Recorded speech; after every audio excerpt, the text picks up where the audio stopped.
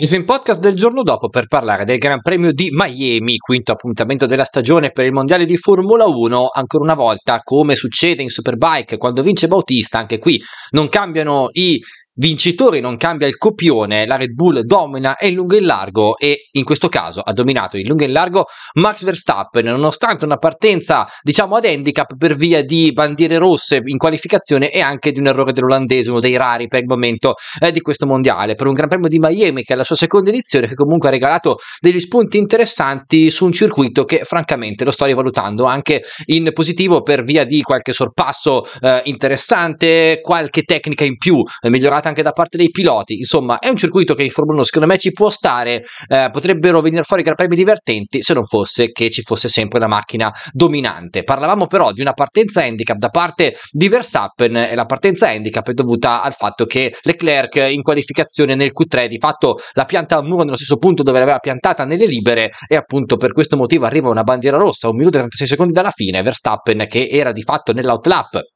per arrivare a fare il giro buono che non aveva fatto nel primo tentativo, deve partire in nona posizione e questo poteva essere comunque uno svantaggio per il pilota olandese perché primo in qualificazione era il suo compagno di squadra Sergio Perez, reduce dalla vittoria incredibile a Baku e peraltro molto meritata eh, e di conseguenza c'è una grandissima possibilità per evidentemente Perez di arrivare a leader del mondiale e invece ovviamente sappiamo che non sarà così. Eh, se da una parte la Red Bull domina in lungo e largo, la Ferrari invece deve leccarsi le ferite e rimpiangere questa gara di Miami, eh, sia per quanto riguarda Leclerc sia per quanto riguarda Carlos Sainz, perché Leclerc appunto partiva a handicap per questo errore, ma in gara non è che farà granché. Eh, Sainz invece era in lotta per quanto riguarda il podio, ma verrà penalizzato di 5 secondi per aver ecceduto i limiti di velocità in pit lane. Questo è un fotogramma del suo ingresso un po' garibaldino nella corsia box di Miami. Di fatto arriva un bloccaggio eterno eh, nel tentativo di fare undercut nei confronti di Fernando Alonso che non riusciva a passare in pista. Eh, per questo motivo viene ecceduto appunto il limite di velocità di 60 km h e quindi 5 secondi di penalizzazione per Carlos Sainz che peraltro subirà anche il sorpasso di George Russell, veramente una Ferrari incolore in quel di Miami nella giornata di ieri eh, e quindi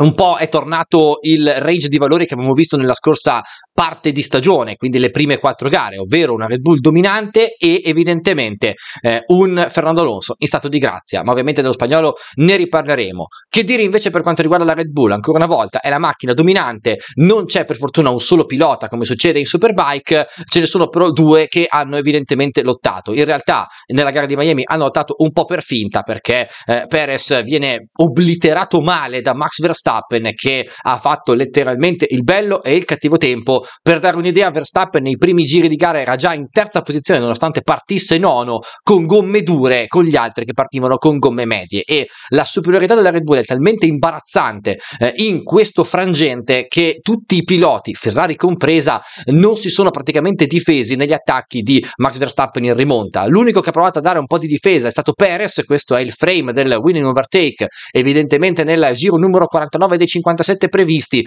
eh, ma anche Perez non ci poteva fare granché. Verstappen probabilmente partiva ultimo, avrebbe vinto lo stesso, al netto della mia consecuzione temporum andata a quel paese, ma per dare l'idea che questo Verstappen è veramente centrato per il terzo del mondo consecutivo e qui ha dato una dimostrazione di forza impressionante per una Red Bull che, ripeto, già è dominante di suo e fa un campionato a parte, in alcuni sorpassi sembra vedere veramente le LMP1 contro le GT della 24 ore di Le Mans eh, e invece appunto ancora una volta anche gli altri piloti sono veramente inerti e inermi nel vedere un dominio totale di questa Red Bull che alla fine vince ancora e ancora una volta il vincitore è Max Verstappen, terza vittoria in stagione e ancora una volta per lui suona Helt Wilhelmus Perez, completa l'ennesima doppietta 1-2 della scuderia anglo-austriaca e terzo invece è il solito Fernando Alonso che è letteralmente il terzo pilota per valore assoluto di questo campionato del mondo perché davanti abbiamo Verstappen, talento purissimo e coadiuvato da una macchina dominante. Secondo abbiamo Perez, che comunque è un ottimo pilota, coadiuvato anche da una macchina dominante. Eh, il secondo pilota in pista per talento in questo momento è comunque Fernando Alonso, alla veneranda età di 42 anni, con una Aston Martin sulla carta inferiore in questa pista anche a Mercedes e a Ferrari. Basta vedere le prestazioni di Lance Stroll, ma Lance Stroll non è di certo un pilota paragonabile a questo Fernando Alonso. Eh, evidentemente il 42enne asturiano ci mette sempre qualcosa del suo e fa veramente ancora una volta una prestazione prestazione di un certo livello, perché Alonso con questo quarto podio in cinque gare arriva ancora una volta terzo da solo eh, in classifica del mondiale eh, ed è qualcosa di clamoroso appunto perché non è più un ragazzino, ma come ho sempre detto, il talento non si perde. Il mondiale, nonostante siamo già alla quinta gara, a mio modo di vedere, è già bello che è indirizzato, sarà un duello ovviamente tra Perez e Max Verstappen, il netto favorito però è sempre Verstappen che seguendo la cabala, le gare dispari le vince, le gare pari finisce secondo, quindi probabilmente a Imola vincerà Perez con Verstappen secondo, ma comunque a Miami abbiamo visto probabilmente la dimostrazione di questa Red Bull dominante, una prova di forza assolutamente imbarazzante per gli avversari. Sembra veramente che le due scuderie austriache, meglio le due vetture austriache, facciano letteralmente un'altra categoria. Verstappen allunga in classifica anche con il giro veloce a 119 punti, 105 per Sergio Perez che appunto si macchia probabilmente eh, di un ruolino imperfetto per questa quinta posizione a Melbourne, ma per il resto è un ruolino di pilota da primissimo della classe. Terzo è Fernando Alonso che ha fatto tre, eh, o meglio, quattro piazzamenti sul podio in quattro gare e quando non ci è arrivato è arrivato quarto. Chissà che in circostanze fortuite e fortunose lo spagnolo di anni 42 non possa magari centrare una vittoria per arrivare al numero 33 di carriera e sarebbe veramente un highlight importante in questa stagione, ma il campionato sappiamo che è veramente lungo, abbiamo fatto 75 gare, ce ne sono in totale 23. Gli altri piazzamenti per quanto riguarda la gara di Miami abbiamo quarto George Russell che di fatto è il primo degli altri se vogliamo considerare Alonso come pilota di un'altra categoria, ma perché di fatto è così, perché tolto il podio di Leclerc, il podio è sempre stato Red Bull e Fernando Alonso, Russell ha fatto una buonissima gara con questa Mercedes che non è più la macchina dominante di un tempo e secondo me merita comunque gli onori della cronaca perché ancora una volta Russell tiene davanti Lewis Hamilton che va detto come Leclerc ha fatto una gara oltremodo incolore a mio modo di vedere eh, e di conseguenza Onore al merito al pilota inglese. Quinto è Carlos Sainz, che secondo me è la delusione del giorno per questa gara di Miami, perché è un quinto posto molto più amaro che dolce. Lo spagnolo era assolutamente in corsa per il podio e poteva, secondo me, competere se non avesse avuto quella penalizzazione per quanto riguarda l'entrata in pit lane troppo veloce. Certo, andava poi a farsi una lotta con Alonso in pista e comunque sappiamo come Ferrari e Aston Martin in questo momento più o meno stiano lì e si equivalgano. Eh, Sainz, però, butta butta ancora una volta nel rudo una possibilità di ben figurare con un Leclerc che invece ha fatto veramente la gara del gambero e una gara a sua volta incolore. Sesto Lewis Hamilton che inverte la strategia, fa un po' come Verstappen e rimonta dalla tredicesima posizione e arriva alla sesta, è comunque una gara solida per il pluricampione del mondo inglese. Settimo invece è Charles Leclerc che invece di fatto arriva dove è partito, ma Leclerc ha fatto veramente una gara incolore, ha fatto fatica a superare macchine sulla carta inferiore, vedi per esempio la lotta con la Haas di K-Mag, se non mi ricordo male, eh, fatto sta che comunque è un weekend per la Ferrari in toto da dimenticare, quello di Miami.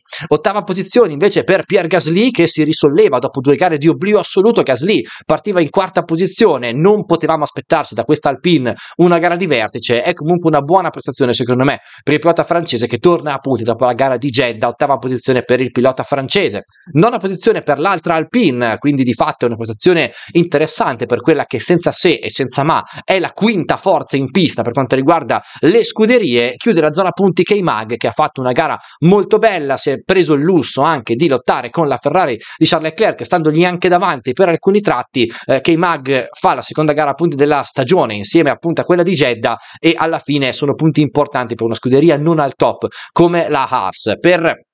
mondiale di Formula 1 che invece evidentemente deve ancora entrare nel vivo è già indirizzato evidentemente per la vittoria. Tra le due Red Bull bisogna vedere se questa Red Bull l'interrogativo è se le possano vincere tutte. Il potenziale probabilmente c'è perché probabilmente ha fatto 5 su 5 3 con Verstappen e 2 su Perez. Il dominio in questo momento è imbarazzante e nessuna delle vetture sembra avere un qualcosa in più per contrastarla. Abbiamo visto Fernando Alonso che arriva a sì terzo ma anche oggi Alonso ha preso 20 secondi di distacco ieri meglio da eh, quantomeno Perez Perez. Di conseguenza sono 25 da Verstappen, segno che in questo momento in Red Bull si sta vivendo la stessa era che abbiamo visto in Mercedes, prima con la coppia Hamilton-Rosberg e poi con la coppia eh, Hamilton-Bottas. Per quanto riguarda invece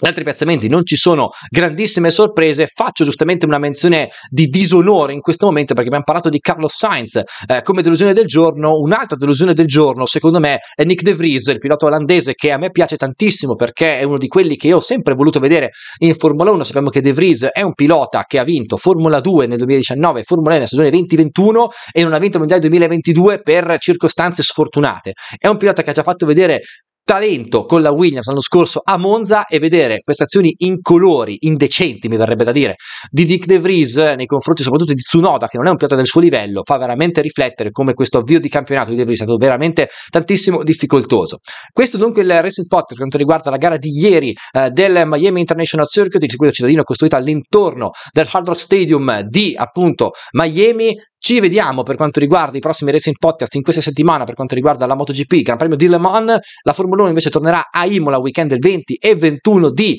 maggio per la prima gara europea delle nove previste in programma prima di arrivare evidentemente nella trasferta ex europea da Singapore in avanti. Fatemi sapere cosa ne pensate di questa analisi delle vostre scuderie preferite e dei vostri piazzamenti ed eventuali premi di driver e delusione del giorno. Il saluto da parte di Matthew Torgard. Ci vediamo al prossimo video.